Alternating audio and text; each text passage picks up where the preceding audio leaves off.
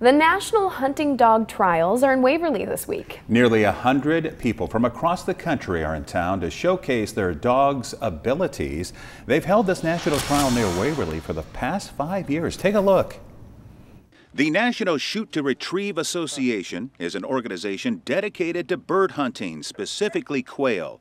For the competition, there are two large fields they use, and there are two hunters on each field competing against each other for 30 minutes in what's called a brace. It's like a bracket in other competitions. The dogs are judged on how they perform in the field.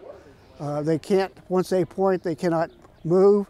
The handler has to walk up, flush the bird, then the handler can't move the dog has to come, go get the bird and retrieve back to the handler within three feet. The winner of that brace is the one who has the most points at the end of 30 minutes. The organization hopes to bring in more younger people as the sport continues to grow. We would like to share with young people that and get them off of the cell phone and get them uh, active in walking and training bird dogs.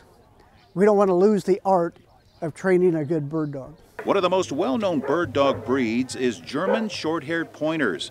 Competitors say they love working with their dogs and seeing all of the hard work training them pay off. It's very rewarding to come off that field and uh, after 30 minutes and have found birds, have your dog look good doing it, and perform uh, the way the way they do in practice. Now, the trials continue through Saturday at the Rock Creek Field Trials Association near Waverly. To find out more about Rock Creek, visit their Facebook page.